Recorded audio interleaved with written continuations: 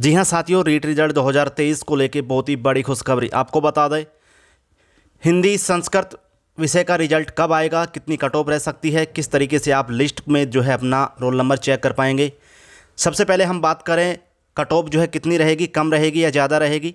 इसके अलावा REET level two के अधिकांश रिज़ल्ट जारी हो चुके हैं। जैसे हम बात करें, सबसे पहले एसएसटी का रिज़ल्ट जारी हुआ था, उसके बाद जो है मैथ और साइंस वाले कैंडिडेट्स का रिज़ल्ट जारी हुआ था, और कल जो है चार रिज़ल्ट जारी हुए थे, जिसमें अंग्रेज़ी विषय का रिज़ल्ट और तीन लैंग्वेज और साथ थी जिसमें पंजाबी, सिंधी और उर्दू।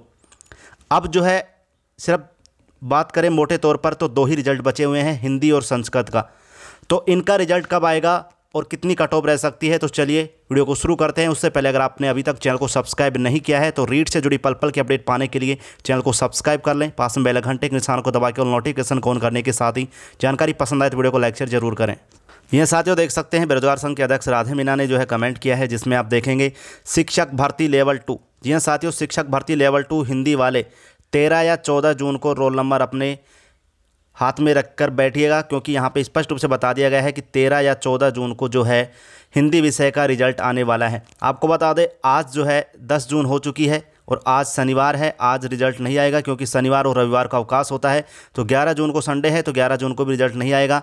बारह जून को जो है सोमवार होगा, वहाँ पे ऑफ़िस खुलेगा, उसके बाद कार्य कंप्लीट किया जाएगा, यानी कि ये रोल नंबर जितने भी बचे हुए हैं, रिज़ल्ट वो अपलोड किए जाएँगे। उसके बाद तेरह और चौदह जून को हिंदी विषय का रिज़ल्ट और साथ ही जो है संस्कृत विषय का रिज़ल्ट भी आ सकता है।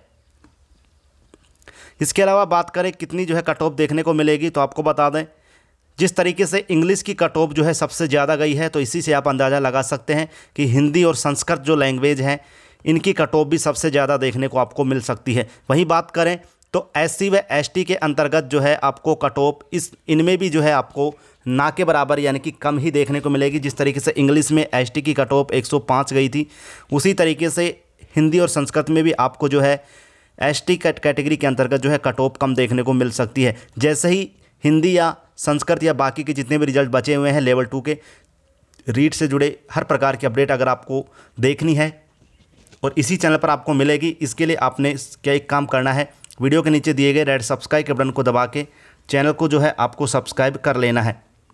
इसके अलावा साथियों, आपको पास में बेल घंटे के निशान को दबा के और नोटिफिकेशन को ऑन भी करना है और आपका हिंदी या संस्कृत में कितना स्कोर रह रहा है कमेंट बॉक्स में ज़रूर बताएगा कि आपके कितने नंबर हो रहे हैं।